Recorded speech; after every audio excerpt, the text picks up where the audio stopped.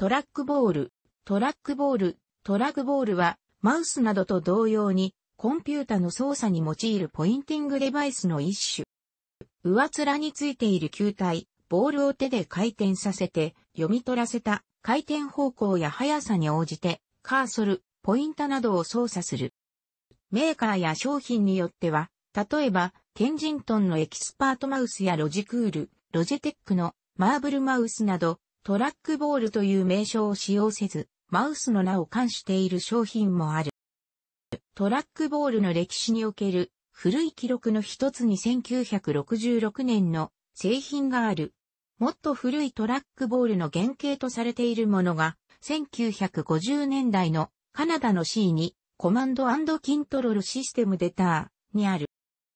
トラックボールの操作は、マウスのように装置そのものを持って動かすのではなく、指先や手のひら、機種によっては足にも対応を使って、ボールだけをその場で回転させることで行う。似たような性質のものでは、タッチパッド、ポインティングスティックなどもある。トラックボールの筐体には、操作用ボールを収めるためのトラックボールハウジング、カップとも呼ばれる。以降カップと表記、というくぼみが設けられている。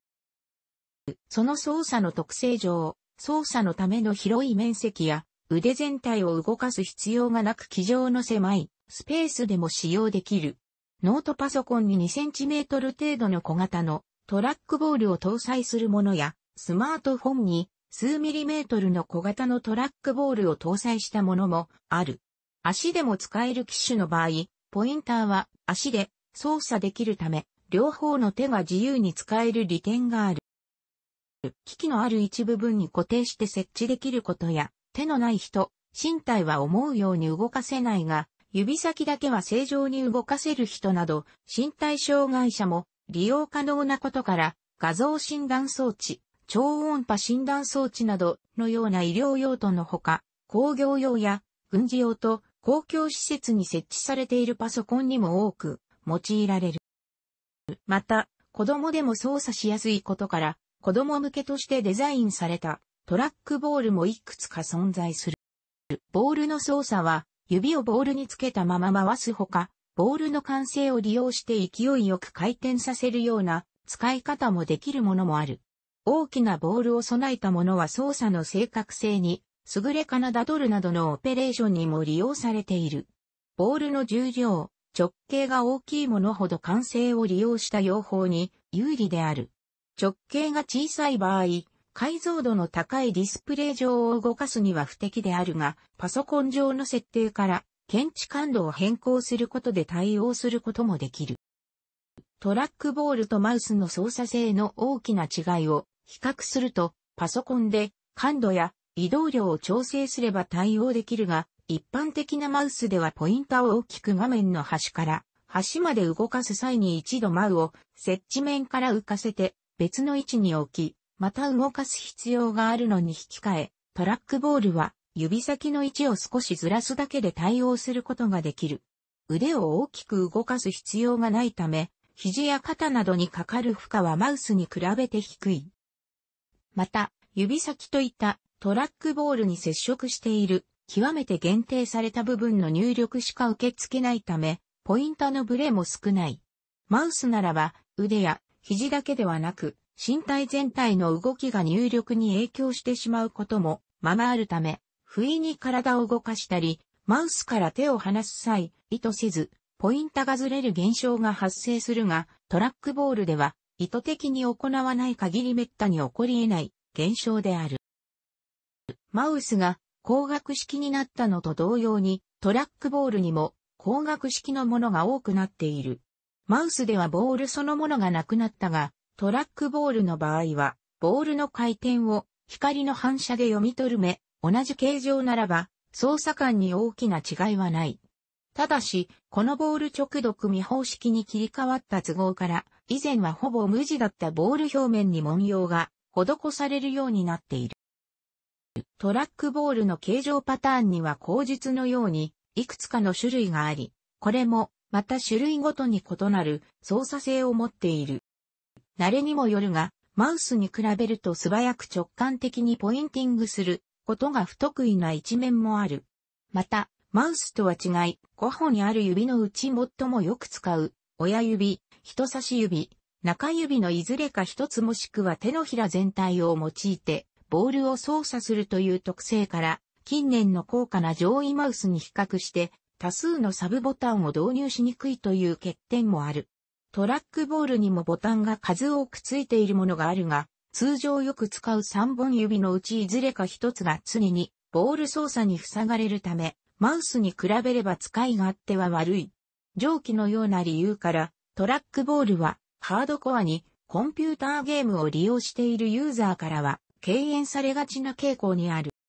アーケードゲームにはタイトル専用カスタムハードウェアという特性もあって、トラックボールを入力デバイスとする作品が古くからある。著名なところでは、ミサイルコマンドやマーブルマッドネス、アウトトリガー、SDI、セガソニックザ・ヘッジホックなどが挙げられる。また過去には、あたりからコンシューマーゲーム機用のトラックボールが発売されていたこともある。一部のゲームでは単にポインティングデバイスの一種としての採用であるが、例えばミサイルコマンドの場合、他のポインティングデバイスとして、例えば、ライトペンを使ってしまうと、芸が簡単になりすぎるので、適度な操作性の悪さと、実際の防空システムの装置で使われているデバイスで、あるという演出面の意味もある。ジョイスティック、アナログジョイスティックが、定常的には二軸、二次元二自由度の角度を入力するデバイスであるのに対し、トラックボールは二次元の角速度を定常的に入力できるというが違いであり、マーブルマッドネスは、それがそのままゲーム世界内のボールに反映するという点で、特にマッチしたシステムと言える。手を離してもホームポジションやニュートラルポジションに戻らないという特性から、複雑なコマンドを素早く的確に入力する必要に迫られる格闘ゲームなどには、マウスと同様に不向きである。業務用ゲーム機としてのトラックボールは独特の操作性を持つ反面、難点も多い。激しいプレイでの故障によってメンテナンスが多くなり、筐体パネルとボールの隙間などにより、プレイヤーが手を荒れする場合もある。通常のレバー、ボタンの操作と比較すると部品は少ない。現在ではトラックボールを使用するゲームはごく稀である。家庭用ゲームでは前述した業務用ゲームの移植版が一部あるのみでトラックボール使用を強制するゲームはほぼない。2は、マウスと並んで、ポインティングデバイスの代表格だったが、一般へのパソコン普及が加速し始めた頃には、すでに主流はマウスに移っていた。ノートパソコンにトラックボールを採用する事例は少なくなかったが、本体の薄型化が進行するにつれて、ボールの直径が筐体の薄型化の阻害要因になること、ボールの直径を小さくした場合に、良好な操作性を確保することが難しいことなどから、トラックボールを搭載する製品は、ほとんど見られなくなり、タッチパッドやポインティングスティックが主となった。現在ではマウスが標準となり、ノートパソコンからもトラックボールが消えてしまったため、目にする機会は少なくなった。しかし、現在でもトラックボールを好むユーザーは存在しており、有名企業を含むいくつかのメーカーから新製品がリリースされている。また、プレゼンテーション用の製品など手で持ち上げて使うためのポインティングデバイスにおいては、現在でも小型のトラックボールを採用している製品が少なくない。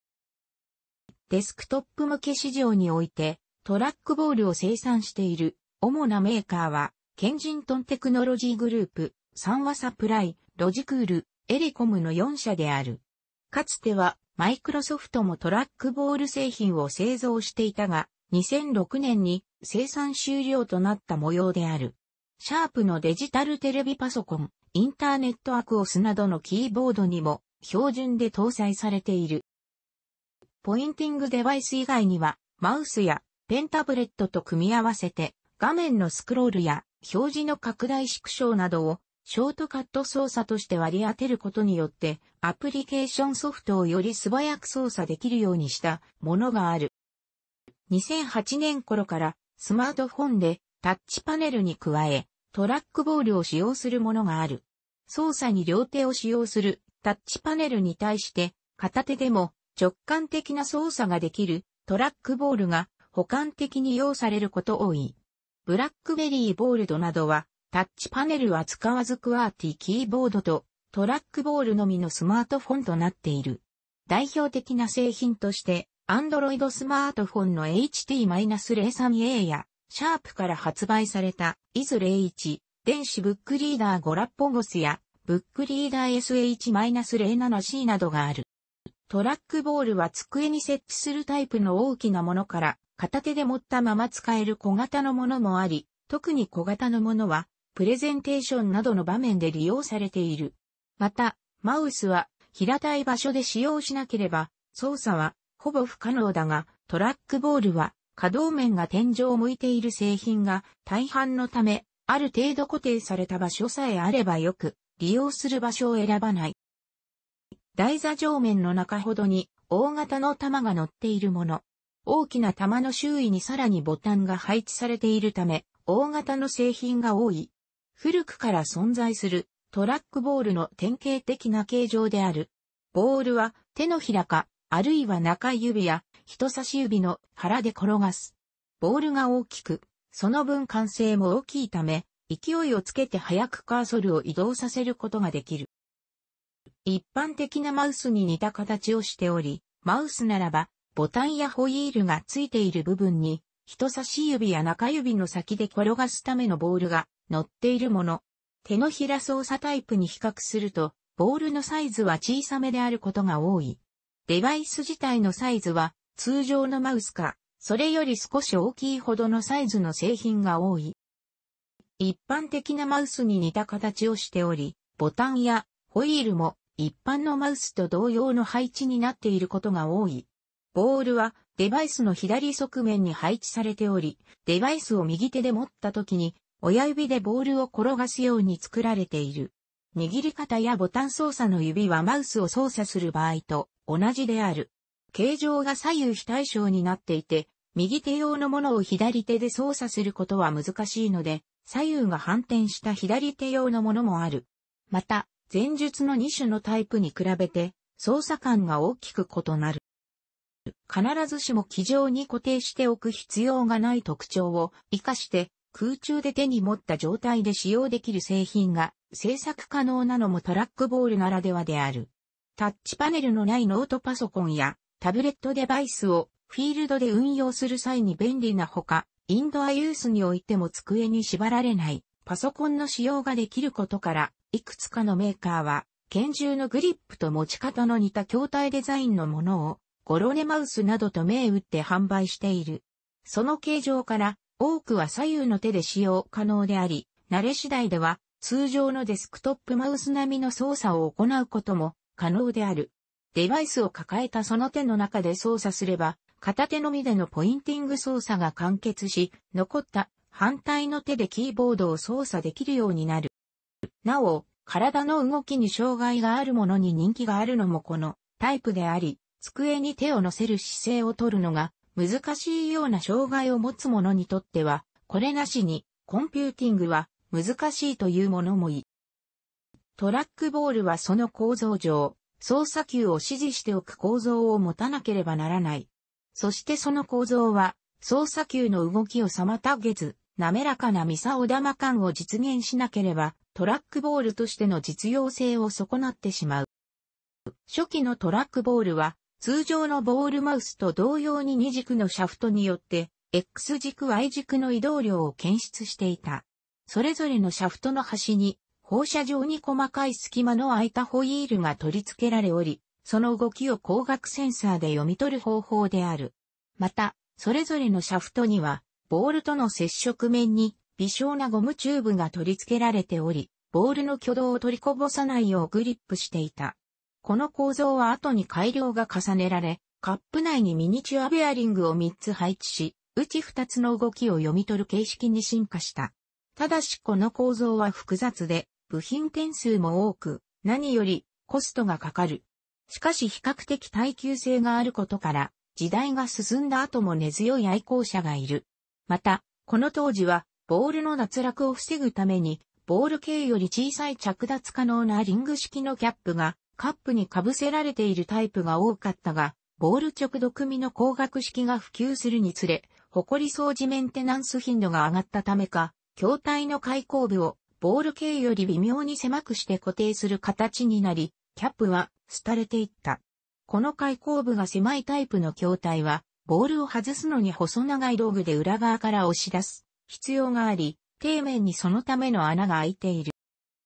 トラックボールで最も一般的に普及した指示形式はカップに硬質の数ミリ径の小さなボールを配置し、それにより操作球を指示する指示球式である。小さな指示球の点接触により、摩擦修道でありながら滑らかに操作球が動くようにしたものであり、ベアリングや軸を用いるより構造を簡略化し、コストを抑えることが可能となった。ただし、モーション検出方式が光学式、またはそれに準ずるものでないと、構造的に使えない。また、指でのミサオ玉感は滑らかになっているが、ベアリング式より摩擦は大きくなるため、完成で転がし続けられるものは少ない。最も受け入れられた指示球式ではあるが、摩擦修道であることから耐久性に難がある、宿命が生じてしまうことともなった。この形式のトラックボールを使用していると、汚れや埃による操作球の動きの渋さが出てくる。この程度ならば、操作球を取り外し清掃することで解決可能だが、どうしても解決が難しかったのが、指示球の摩耗である。初期の指示球式、または価格の安いトラックボールマウスは、指示球にステンレス等の合金を用いている。一見硬そうな金属指示球だが、意外なほど摩耗には弱く、操作球との摩擦と巻き込んだ硬質の埃の影響により接触面が平たく削れていってしまう欠点がある。こうなると点接触が面接触になり、非常にミサオ玉感を悪くするばかりか、操作球に傷までつけてしう。これを解決すべく登場したのが、非常に高度の高いルビーや酸化アルミニウムセラミックスを用いた指示球で、これらはダイヤモンドに次ぐ高度を持ち、通常まず摩耗しないことから、摩耗問題の決定だとして比較的高級なトラックボール製品には好んで用いられる。また、現在でも製品の絶対数の少ないトラックボール市場において、使い慣れた古い製品を使い続けたいという需要もあり、有志により様々な補修方法が考えられており、指示球のセラミック化もその一つである。サイズの適合するセラミックボールを入手し、金属指示球をリプレイスする改造であるが、現行のトラックボールを部品取りとするほか、ラジコンの駆動系部品からセラミック製のベアリングボールを入手するなど様々な方法が考案されている。